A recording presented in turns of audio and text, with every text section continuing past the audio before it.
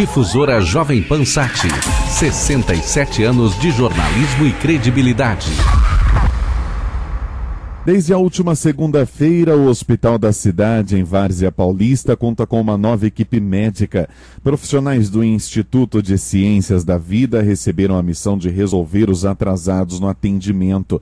Sobre este assunto, nós vamos entrevistar agora o secretário de Saúde de Várzea Paulista, José Roberto Spinucci. Secretário José Roberto, 50% da equipe do Hospital da Cidade foi trocada. Por quê, secretário? É, nós tínhamos uh, muitos problemas como você diz aí no início, com atrasos e faltas, e isso prejudica muito o atendimento do, dos nossos usuários. Então, assim, a equipe, os médicos que a gente tinha alguns problemas, algumas reclamações, a gente fez a troca e a gente está mantendo os médicos que tinham um bom atendimento.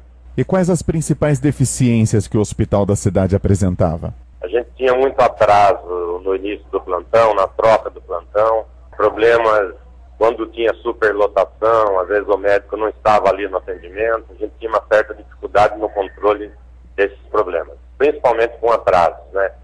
E aí complica todo o plantão, se um médico não chega no horário, né?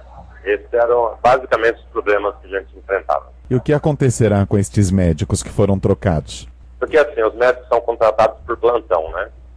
Eles não têm um vínculo fixo com o hospital.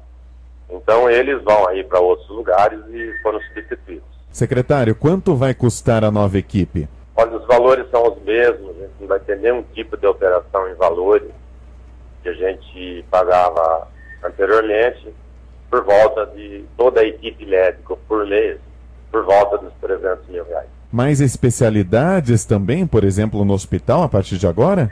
Nesta equipe nova da ICV que está entrando, são só médicos clínicos e pediatras e o médico que faz visita nos internatos. Especialistas, a gente tem um ambulatório de especialidade, né? não tem no, no, hospital.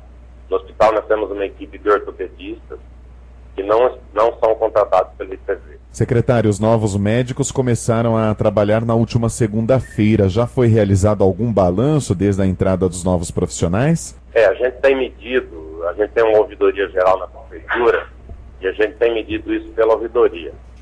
De lá para cá a gente não teve nenhuma intercorrência, nenhum problema registrado.